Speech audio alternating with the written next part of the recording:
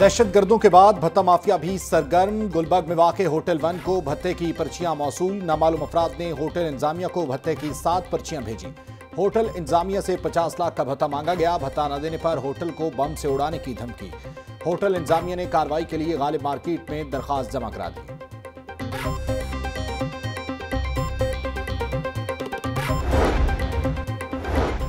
پنجاب حکومت کی اڑسٹھ گاڑیاں نیلام، چار کروڑ روپے سرکاری خزانے میں جمع، شہباز شریف کے پروٹوکول کی گاڑیاں بھی شامل۔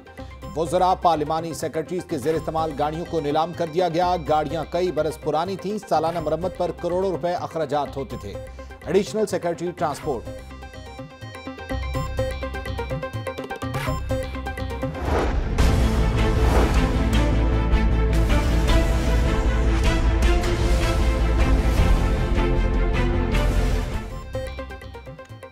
I M F معاہدہ ڈالر پر بھاری چند گھنٹوں میں مارکیٹ میں بھونچال آ گیا۔ روپے کے مقابلے میں ڈالر چھ روپے تیس پیسے مہنگا ملکی تاریخ میں پہلی بار ڈالر ایک سو اڑتالیس روپے پر جا پہنچا۔ مارکیٹ میں ہلچل کے بعد ڈالر ایک سو سنتالیس روپے پر ٹریڈ۔ سٹے بازوں کی چاندی، بلیک میں فروخت جاری۔ کاروباری افراد نے سر پکڑ لیے۔ مہنگے ڈالر کا خمیازہ ہمیں بھگتنا پڑے گا۔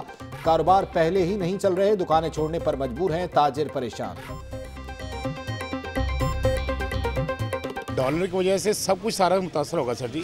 ڈالر بڑھے گا تو تیل بڑھے گا۔ ڈالر بڑھے گا تو کھانے پینے کی ایسی چیزیں بڑھیں گی۔ ڈالر بڑھے گا، اس کے بعد موبائل، سسری، موبائل، سب کچھ بڑھے گا۔ اور سارا نقصان ہمیں بھگتنا پڑے گا۔ عوام کو بھگتنا پڑے گا۔ جب سے یہ ڈالر اوپر نیچے ہو رہا ہے، کاروبار میں کوئی سٹیبلٹی ہے ہی نہیں۔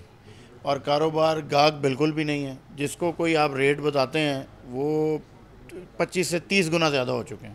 اور آج چھ روپے اور بڑھ گیا، دس پندرہ گنا اور بیٹھ جائے گا، مہنگائی ہو جائے گی۔ مہنگے ڈالر کے بڑے آفٹر شاکس سونا بھی عام آدمی کی پہنچ سے باہر، سونا مزید ایک ہزار روپے مہنگا۔ ایک تولہ سونا بہتر ہزار روپے کا ہو گیا۔ شہریوں کے ساتھ سونے کے تاجر بھی مہنگے ڈالر سے متاثر۔ ڈالر حکومت کے ہاتھوں سے بے قابو، قرض کی مد میں خزانے پر مزید بوجھ بڑھ گیا اورنج ٹرین کے قرضے میں بہتر ارب نوے کروڑ روپے کا اضافہ۔ پاکستان کو دو سو اڑتیس ارب چودہ کروڑ روپے چین کو ادا کرنے پڑیں گے۔ ڈالر کی قیمت میں اضافہ اور ہو چروبا مہنگائی۔ نواز شریف نے پارٹی کو عید کے بعد حکومت کے خلاف احتجاج کی اجازت دے دی۔ نون لیگ کی مرکزی اور صوبائی قیادت کو احتجاجی لائے عمل کے لیے فوری اجلاس طلب کرنے کی ہدایت۔ شاہد کاکا نواسی کو حکومت مخالف احتجاج کی حکمت عملی بنانے کا ٹاسک۔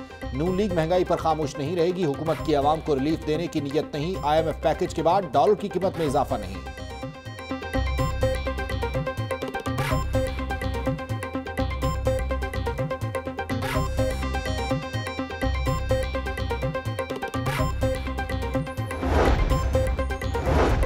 گزشتہ حکومت کی لوٹ مار کے باعث معیشت کا یہ حال ہے۔ ڈالر کو مصنوعی طور پر مستحکم رکھا گیا۔ ڈالر کی قیمت میں جلد استحکام آئے گا۔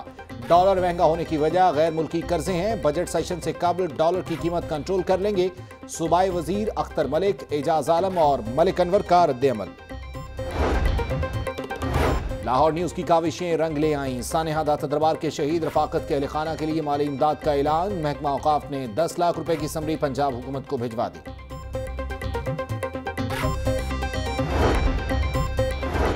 گورنر پنجاب چودھری محمد سرور سے چینی سفیر یاوجن کی ملاقات، پاک چین تعلقات، سی پیکس میں دیگر معاملات پر تبادلہ خیال۔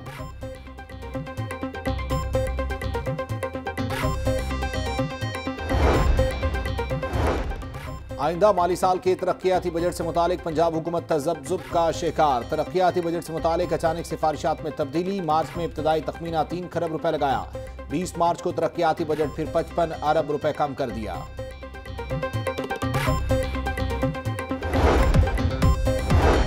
الحمرہ آرٹس کونسل میں رمضان کی مناسبت سے اسلامی خطاطی کی نمائش صوبائی وزیر توانائی ڈاکٹر اختر ملک نے افتتاح کیا۔ نمائش میں طلبہ کے دو سو اسی فن پارے پیش کیے گئے۔